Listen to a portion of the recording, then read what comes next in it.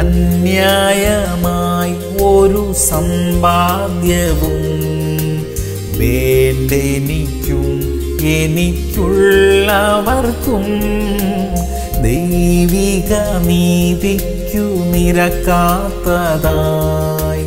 ചെയ്യില്ല ഒന്നും ഞാൻ ഒരു നാളിലും വിലാപങ്ങൾ മൂന്ന് അൻപത്തി ഒൻപത് യഹോവേ ഞാൻ അനുഭവിച്ച അന്യായം അങ്ങ് കണ്ടിരിക്കുന്നു. എന്റെ വ്യവഹാരം തീർത്തു തരയണമേ സഹോദരങ്ങളെ അന്യായം എല്ലാ കാലത്തും നിലനിൽക്കുകയില്ല. ദൈവം നമുക്ക് ന്യായം പാലിച്ചു തരും. നീതിയോടെയും ന്യായത്തോടെയും മാത്രമേ നമ്മളും ഇടപെടുകയുള്ളൂ. ന്യായമല്ലാത്ത സമ്പത്തോ സ്ഥാനമാനങ്ങളോ ഒന്നും തന്നെ നമുക്ക് വേണ്ട. മത്സരിച്ചും വെട്ടിപ്പിടിച്ചും ഒന്നും തന്നെ നിലനിർത്താൻ നമുക്ക് കഴിയത്തില്ല.